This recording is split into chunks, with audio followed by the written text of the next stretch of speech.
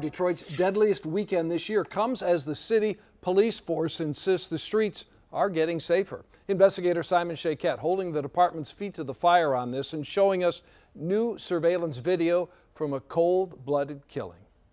As we speak, Detroit police investigating more than a dozen shootings over the weekend. That includes six murders, all the while trying to explain this recent spike in violence. This map shows the extent of the gun violence throughout Detroit. We can just shoot and don't care how that's going to affect our community, our families, the people that we know. Brutally murdered in the Motor City. Detroit police say six victims gunned down between Good Friday and the end of Easter weekend were among a total of 15 shot.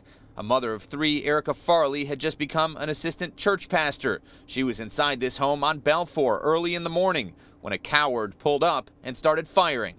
She was definitely a woman of faith. She believed in helping people. She had a big heart, always with a big smile. Today, police releasing surveillance video from another deadly shooting early Saturday morning. Detectives looking for the drive-by gunman inside a vehicle seen here. Someone who murdered Gary Williams, a.k.a. Big Raul, off of Michigan Avenue. He was a father of four and called the Motor City his home. We do actually, as of this morning, have uh, somebody in custody on one of the homicides uh, over the weekend.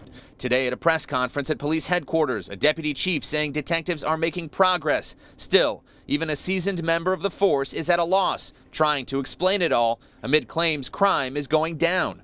I don't don't have a good answer for that. I mean, like like I said in the beginning, none of these cases seem to be related to each other. Detroit police are actively following up on leads, but also asking for the public's help. If you have any information, contact them right away. From downtown Detroit, Simon Shaykhet, 7 Action News.